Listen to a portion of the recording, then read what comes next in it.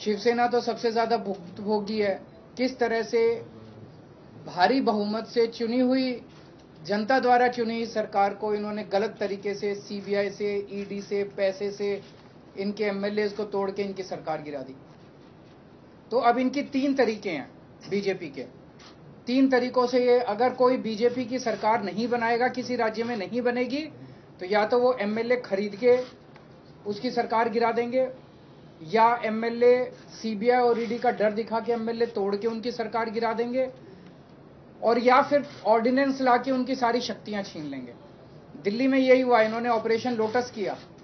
दो तीन बार operation lotus किया, हमारे एमएलए खरीदने की, तोड़ने की कोशिश की, हमारा एक भी एमएलए नहीं बिका। जब इन्होंने देखा कि इनकी सरकार टूट नहीं रही, इनकी सरकार गिर नहीं रही तो अब ये ऑर्डिनेंस ला के इन लोगों ने हमारी सारी शक्तियाँ छीन ली। तो इन लोगों को बहुत ज़्यादा अहंकार हो गया है। और जब किसी आदमी को बहुत अहंकार हो जाता है तो बहुत स्वार्थी हो जाता है वो आदमी। ऐसा व्यक्ति देश नहीं चला सकता जो इतने अहंकार और इतने स्वार्थ के अंदर जीता है।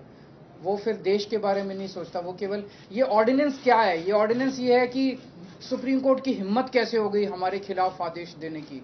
हम देखते हैं। तो ये अहंकार का नतीजा है। अहंकार के अंदर जब आदमी आ जाता है तो फिर कुछ नहीं बचता है।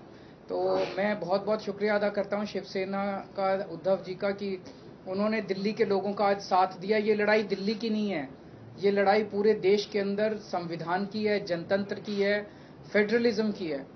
जिस तरह से सारी देश के अंदर सरकारों को परेशान किया जा रहा है, सीबीआई और ईडी का डर दिखा के सरकारें तोड़ी जा रही हैं। गवर्नर्स के ज़रिए आपको जान के ताजुब होगा, पंजाब के अंदर